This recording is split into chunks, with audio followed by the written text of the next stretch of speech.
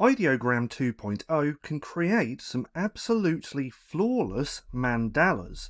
Now I have five just here which I created in Ideogram 2.0 and I've gone ahead and edited these, turned them into SVGs and then put them in here in Canva so we can actually get a feel for what these look like and as you can see they look really good. Now what I'm going to do in this video is share with you a bunch of free resources that you can use to create your own mandalas. But looking at these, we can see they look absolutely insane. Now the great thing about this is that I've formatted these into SVGs, which means that these can be infinitely scalable and they're not going to become blurry because they're an SVG. Now, if you want to know how I edit these and format these, I did create a video all about that yesterday, and what I'll do is link that down in the description. But nonetheless, I just wanted to show you what they actually look like as colouring pages. But now, if we come over to Ideogram just here, I have a bunch of mandalas which you can come through and check out because all of these are on my public profile. Now what I'll also do is link my public profile down in the description. But what we can do is take a quick look at these. So these mandalas, they all look absolutely flawless. As we can see, we also have these rose ones just here, which turned out extremely well.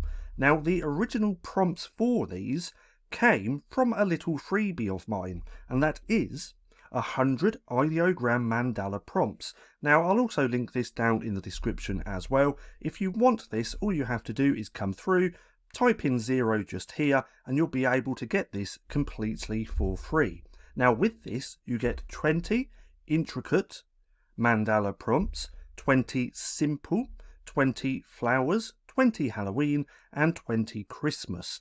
Now I haven't played around with all of the prompts on here with version 2.0 but the simple ones do a fantastic job as we can see just here.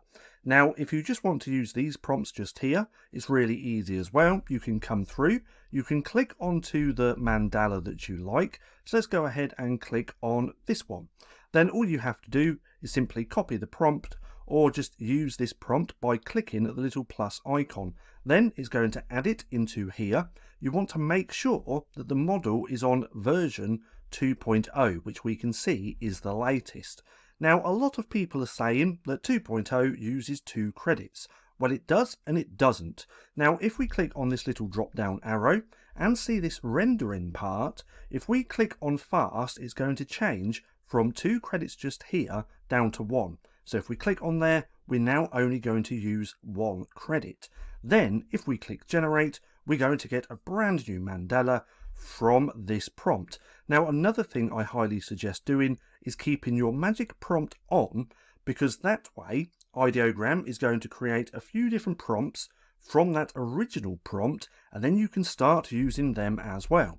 So let's go back to here, let's scroll up and this is the new mandala which it created and as we can see here we have the magic prompt under the original prompt. Now, if we click on these, we can see it hasn't actually given us any different prompts. It, the magic prompt is still the same. I've noticed that it does do this every now and then with version 2, so we can just keep using this prompt. Now, the great thing about mandalas is that you will never get the same mandala twice, meaning you can just find a prompt that you like out of all of these little ones just here.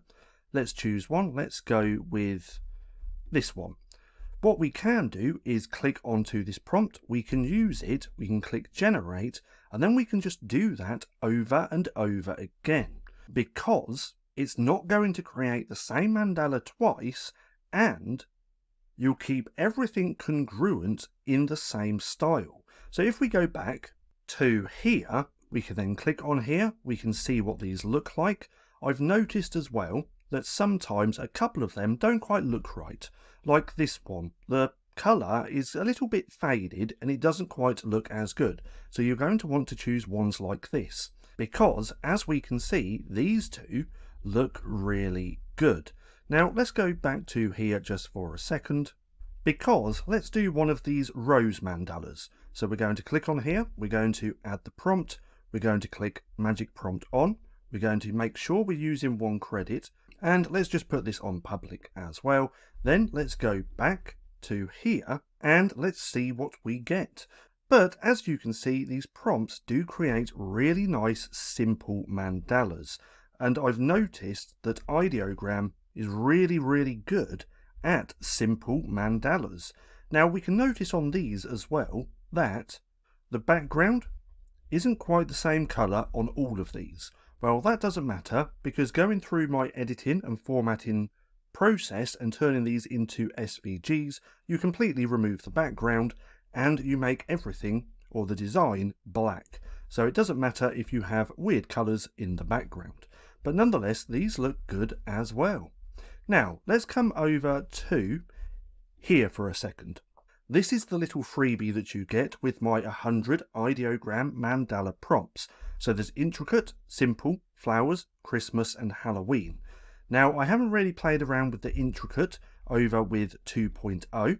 What I've mainly been playing around with, if we scroll all the way down to roundabout here, I've been playing around with these ones. So there's 23 simple mandala prompts that you can use and give a go. So let's go ahead and take one of these.